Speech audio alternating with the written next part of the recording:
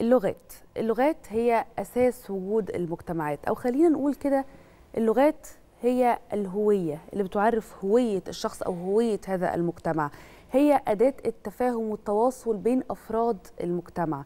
هي اللي بتخلينا نتواصل ونعبر عن حضارتنا وعن ثقافتنا. عشان كده جت فكرة الاحتفال باليوم الدولي للغة الأم اللي العالم هيحتفل بيه بكرة بإذن الله. اللغة فعلا جمانة هي بيت الوجود. حضور الإنسان لا يتحقق إلا بوجود اللغة. آه، اللغة العربية لغة الضاد إحنا هنا في مصر بنعتز بها كثيرا. يعني جمال وجلال اللغة العربية بدأ على هذه الأرض الطيبة في مصر. من خلال الأدباء والمثقفين والمبدعين ومن خلال أيضا قراء القرآن الكريم. عبر تاريخ الدولة المصرية هناك آه، يعني اهتمام شديد باللغة العربية. مصر هي الحارسة الأولى للغة العربية صحيح. حول الجهود الخاصة بالأزهر الشريف وأيضا الدولة المصرية في الحفاظ على اللغة العربية بينضم إلينا في الاستوديو الإذاعي القدير الأستاذ سعد المطعاني آه، مدير المكتب الإعلامي للمنظمة العالمية لخريجي الأزهر اللي منورنا ومشرفنا في صباح الخير يا مصر. صباح الخير يا فندم. صباح الخير يا أستاذ محمد. صباح الخير يا أستاذ جمانة. أهلا بحضرتك. وأنا شاكر أفضلكم لهذه الدعوة الكريمة خاصة ونحن نحتفل باللغة الأم لغة الضاد لغة القرآن الكريم محتاجين مجلدات لما نتحدث صحيح، عن دور صحيح. مصر حقيقي تاريخيا صحيح. وحتى هذه اللحظة في الحفاظ وصون اللغة آه، العربية لكن اسمح لي أبدأ مع حضرتك من خلال رابطة خريجي الأزهر الشريف لأنه في آه، خصوصية فريدة للأزهر في الحفاظ على نعم. اللغة كلغة مقدسة يعني قداسة اللغة طبعاً. كان دايما شيخ طبعاً. الأزهر يقول لنا أنه إن اللغة العربية هي لغة لغة قداسة هي لغة صح- مقدسة صحيح صحيح. آه، الجهود اللي بي- بيبذلها آه، أو اللي بتبذل من خلال رابطة خريجي الأزهر. آه، بسم الله الرحمن الرحيم. اولا يعني تحية لهذا البرنامج الذي دائما يلتف حوله السادة المشاهدون وهي دي مصر. مصر الثقافة مصر التنوير مصر الحضارة. ليس هذا الكلام نقوله تعصبا ولكنه حقيقة. وحينما نتحدث عن اللغة العربية فإننا نتحدث أيضا عن مصر عن اللسان العربي القويم. مصر التي حفظت لغة الضاد من خلال أزهرها من خلال علمائها من خلال إعلامها ممثلا في الإذاعات والتلفزيون من خلال إذاعة القرآن الكريم إلى جانب الشبكات الرئيسية صوت العرب البرنامج العام. لأن التحدث في هذه الشبكات لا بد أن يكون باللغة العربية. لكننا إذا تطرقنا إلى قضية هامة وهي أن مصر هي دولة القراء والإقراء. زي ما حضرتك قلت يا أستاذ محمد القرآن الكريم. القراء المصريون أصحاب الأصوات العذبة هم الذين نقلوا للدنيا كلها. القرآن الكريم عذبا غضا طريا بلغة سهلة جذابة. وبالتالي فإن مصر الأزهر هي حافظت على اللسان العربي المبين من خلال جامعتها العريقة. فجامعة الأزهر يعني وإن كنت أتحدث يعني بصفتي مدير مكتب إعلامي للمنظمة العالمية خريجي ازهر ومعرفتي بالأزهر توجد كليات اللغة العربية. صحيح. اللغة العربية كلية اللغة العربية الأم في القاهرة وفي الأقاليم كليات عديدة. وبالتالي ذهب الأزهر إلى أبعد من ذلك بإنشاء مركز تعليم اللغة العربية للناطقين بغيرها. ومقره جامعة الأزهر. يفد إليه كل عام أكثر من 2000 طالب. يحصل على سبع كورسات في مستويات اللغة. يخرج فاهما للغة. نطقا سماعا كتابه. بل الطلاب يؤدون ادوات يؤدون أدوار مسرحية باللغة العربية. وهناك إقبال على تعلم اللغة العربية. إقبال من, من كل جنسيات. العالم. مم. بل ذهبنا إلى أبعد من ذلك بإنشاء فروع لمركز تعليم اللغة العربية خارج مصر خاصة في أندونيسيا خاصة في ماليزيا دول شرق آسيا تهتم باللغة العربية ومصر تدفع في هذا الاتجاه. ليه؟ لأن اللغة العربية هي الوعاء الحامل للثقافة الإسلامية مم. وطبعا الثقافة الإسلامية المعتدلة السمحة بنعتبرها هي صمام الأمن الفكري للعالم كله جميل. لأن الأزهر يعلم الشرع آه، بطريقة وسطية سهلة سمحة وبالتالي يقضي على ما يسمى بالتطرف والغلو والتشدد فدراسة اللغة العربية ودراسة العلوم الشرعية تؤدي إلى الفهم الوسطي الذي يؤمن العقل من أنه يذهب بعيدا أو يخرج عن النص. جميل. وبالتالي احتفالنا باليوم العالمي للغة آه، آه، آه، أعتبره احتفالا عظيما لأن اللغة العربية هي لغة الضاد. هي لغة القرآن. واللغة العربية مهما شابها من ضعف كما يرى البعض أو كما يوجه إليه البعض سهام النقد إلا أنها موجودة وستكون موجودة لأنها لغة القرآن. طبعاً. ما دام القرآن يقرأ ما دام القرآن يسمع فلا بد أن تبقى هذه اللغة حية. جميل. هناك كثير من اللغات اندثرت لكن اللغة العربية لم يعني يحدث لها ما حدث للغات آه، أخرى والسبب هو القرآن القرآن القرآن. ليه القرآن؟ لأننا تعلمنا آه، على يد شيوخ علمونا كيف ننطق الحرف ما هي صفات الحرف ما هو مخرج الحرف كيف يرتبط الحرف بالحرف الذي قبله الحرف الذي بعده؟ وعرفنا صفات الحروف. هي دي مصر اللي بتعلم الدنيا كلها اللغة العربية عن طريق أدوات كثيرة من ضمنهم الإعلام اللي إحنا بنتحدث في إحدى قنواته العظيمة.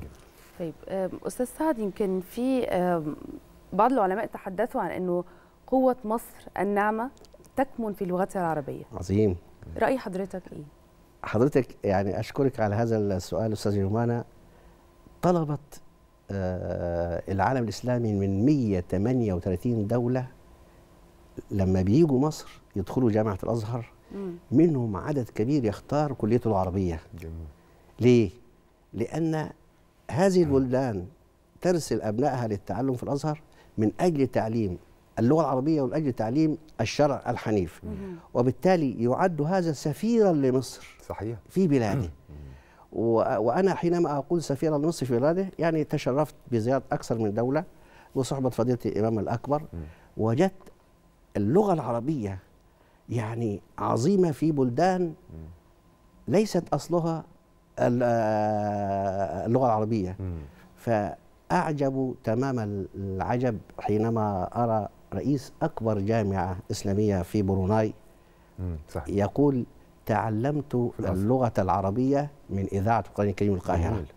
ومن ومن عجب أنه يعني قال حينما أسمع إلى آه، السيدة أم كلثوم في آه، إحدى قصائدها كان حلما فخاطرا فاحتمالا ثم أضحى حقيقة لا خيالا.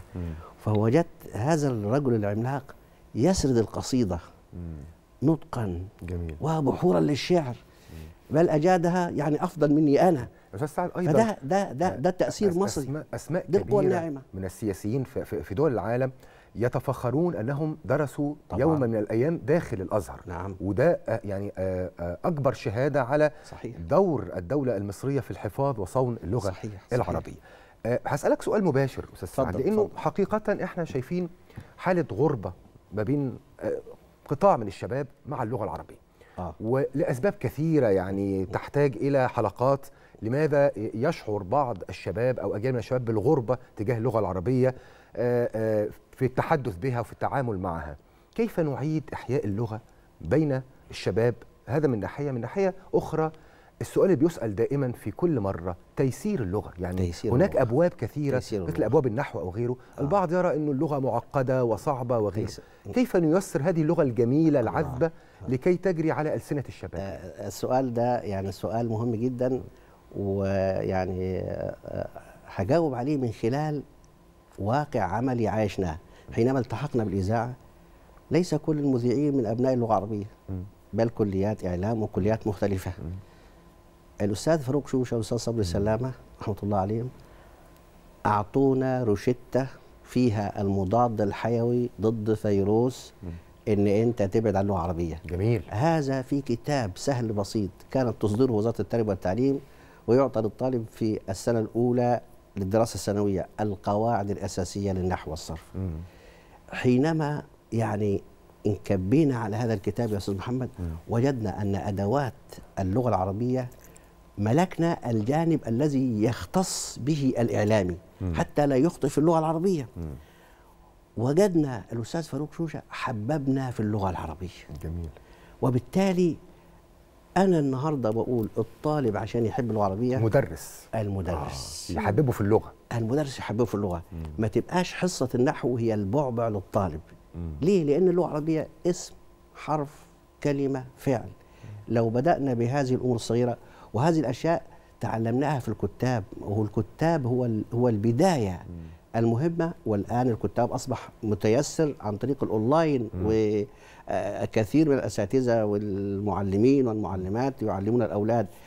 البداية حينما كانوا يعلمون الألف عليه فتحة وتحت منه كسرة وعليه ضمة وعليه سكون. كانوا يعلمونا آ فتحة آ إي كسرة إي. أو ضمه أو أ أ سكون. طب إيه لازم الأ سكون؟ عشان نفرق بين الحرف والحرف. أنا كمذيع لما هقول كلمة مثلا إيه؟ اضطرت الطائرات إلى كذا. فنطلع الضاد والطاء إزاي؟ بسكن الضاد وأدخل عليه الطاء لأن الحرفين دول إحنا بنعتبرهم حروف نسميها الاستعلاء.